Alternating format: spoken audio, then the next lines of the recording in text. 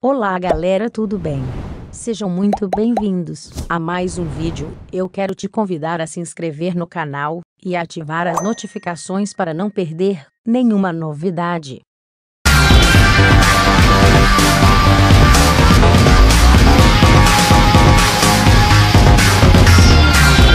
Misteriosos espirais aparecem nos céus da Noruega e da Rússia.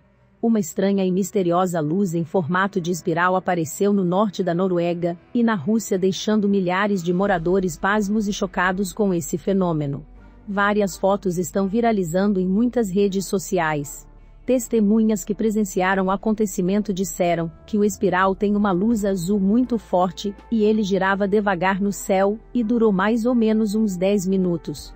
E desapareceu como se fosse um portal, se abrindo e fechando. Astrônomos disseram que nunca viram algo parecido. Que o espiral durou muito tempo no céu, e isso é demorado demais para ser um fenômeno astronômico.